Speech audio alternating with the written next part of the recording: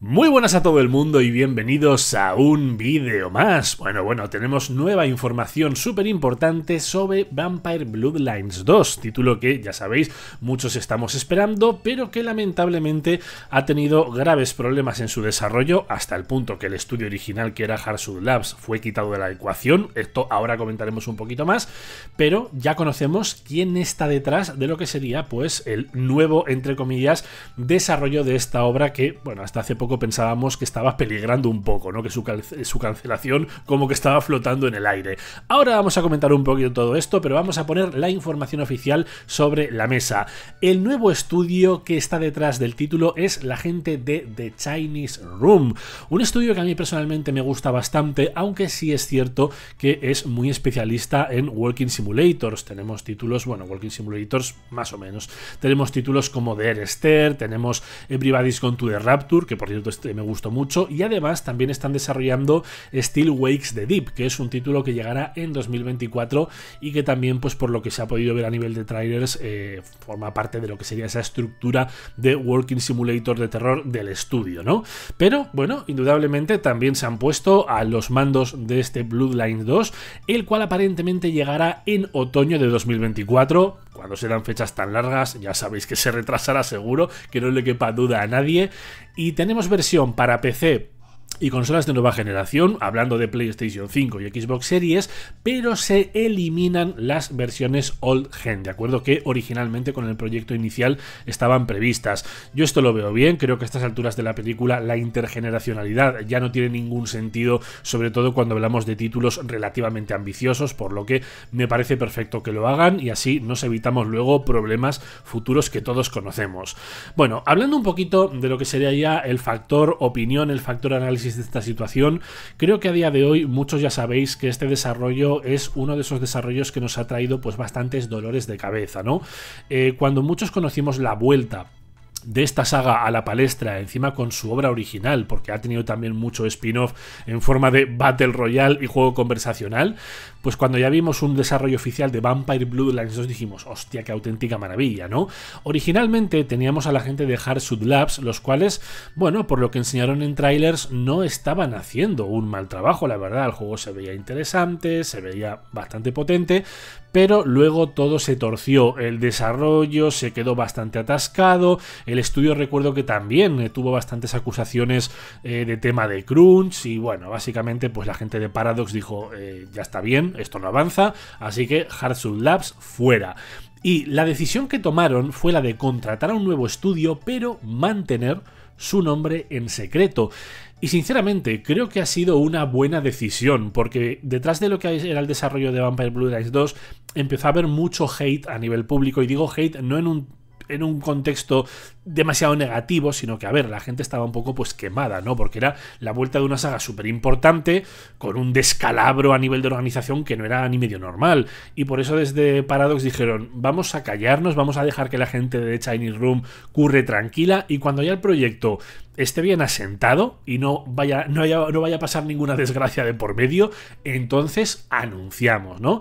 Y recalco, creo que ha sido una decisión correcta, ya que pues tras el, abandono de, de Labs en 2021, bueno, ya ha llovido bastante y me alegro mucho de que al final pues el proyecto dé señales de vida y además con un estudio que ya os digo en lo personal creo que tiene bastante bastante potencial dentro de lo que viene a ser pues el mundo de los videojuegos no a mí sus obras me parecen muy interesantes pero obviamente Vampire Bloodlines 2 a nivel de mecánicas es más complejo de lo que suelen hacer. Ahí tenemos un, un reto para el estudio que ya veremos si superan o no.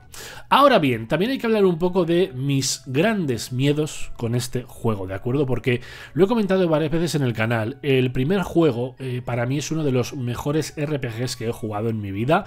Yo lo jugué muy tarde este juego, ¿eh? no penséis que lo jugué cuando salió.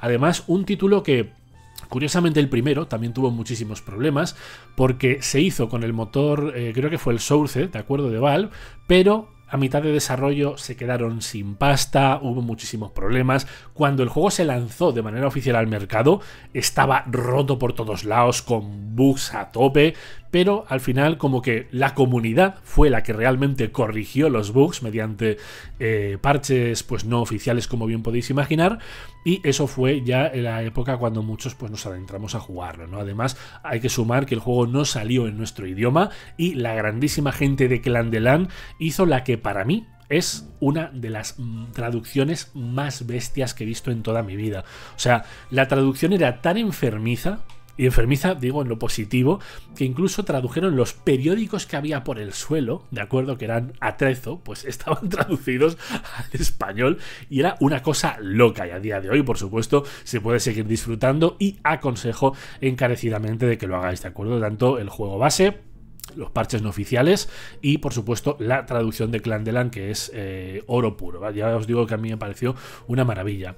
Pero como digo y volviendo un poco al tema, el primer juego es un RPG tremendamente puro, ¿de acuerdo? O sea, es un título donde tenemos una estructura de, entre comillas, mundos semiabiertos que por poner un equivalente para los que no lo conozcáis, a mí me gusta mucho compararlo con la estructura de mapas de Deus Ex Human Revolution, ¿vale? Incluso podemos meter a Mankind Divide también esa sección de pues un trocito de una ciudad no muy grande, pero tampoco muy pequeño, que nos permite explorar, nos permite hacer misiones secundarias, y esa era la estructura que encontrábamos aquí. Pero lo más interesante era el lore que acompañaba al juego, porque teníamos diferentes tipos de clanes para seleccionar cuando creábamos a nuestro personaje, y por ejemplo, si tú te creabas, o sea, no era lo mismo crearte a un toreador que a un Nosferatu, porque los Nosferatu son los monstruos, ¿no? Los que tienen así, pues el típico concepto de Drácula clásico, monstruoso y tal, y esos no podían, tenían que salir a unas horas determinadas, la interacción con el entorno era muy diferente y molaba mucho cómo se estructuraba todo eso a nivel de RPG.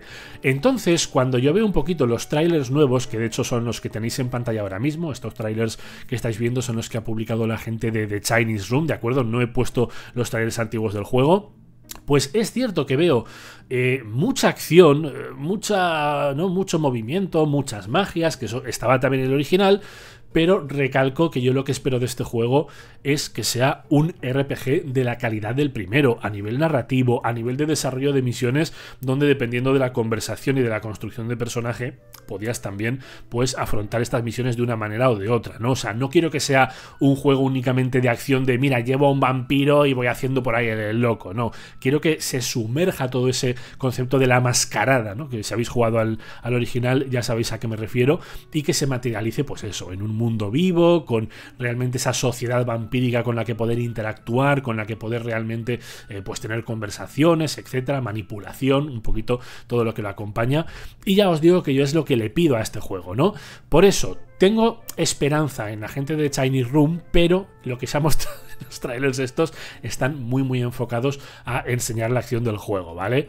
Y espero, recalco, que su componente RPG no se pierda, porque entonces para mí, por muy buen juego de acción que sea, ya os digo que sería un mal juego. O sea, no me terminaría de convencer, porque creo que los fans de esta saga, que además estamos hablando de una saga la cual ha, tenido eh, muy poca repercusión estos últimos años, ¿de acuerdo? Como ya he dicho, hemos visto que han salido ciertos productos, un Battle Royale que no sé si lo han cerrado ya o anunciado no lo sé, bueno, un Battle Royale que está por ahí, que ya ves tú un Battle Royale, y luego también pues el que fue el Swan Song, si no recuerdo mal, se llamaba, ¿verdad?